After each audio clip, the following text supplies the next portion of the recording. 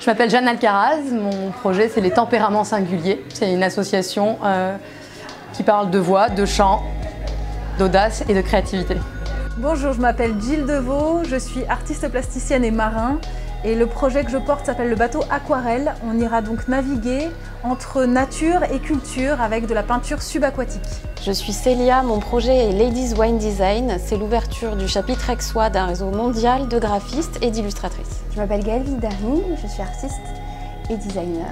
Et avec l'atelier G, je propose euh, la création de fresques et de motifs pour la mode et la décoration. Je suis Julie, mon projet c'est l'école de théâtre mobile Léon et la girafe. C'est tout simplement une école de théâtre qui se déplace dans des lieux qui ne sont pas des théâtres. On se déplace dans des lieux dédiés à la petite enfance, à l'enfance, à la culture, au loisir et aux soins. Donc moi c'est Mélissa Mathieu, je présente un projet qui s'appelle ADAM.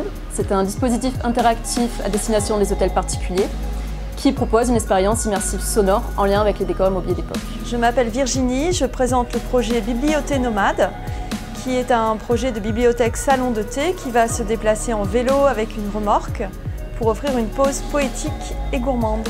Cléo, les Lunes Bergers. Les Lunes Bergers sont une maison d'édition de livres-objets et de livres d'artistes.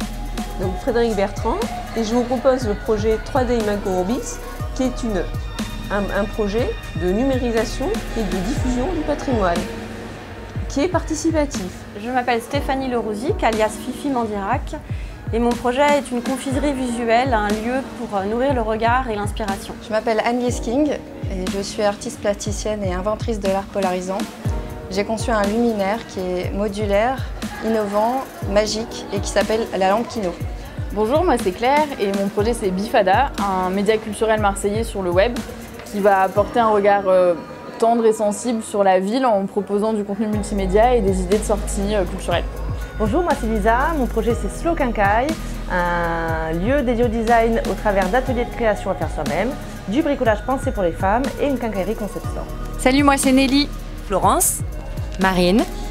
On est les comédiennes de la compagnie du Silène et on présente un projet qui est un spectacle jeune public, un spectacle de sensibilisation contre les violences sexuelles faites aux enfants. Je m'appelle Amalia et mon projet c'est la Sérendip, une roulotte atelier itinérante euh, dédiée à la poésie contemporaine.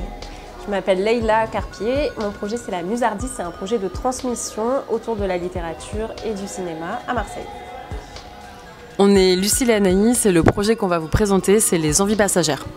Les Envies Passagères, c'est des journées de découverte sportive, de la bonne bouffe, une touche d'écologie et une bonne grosse dose de fun.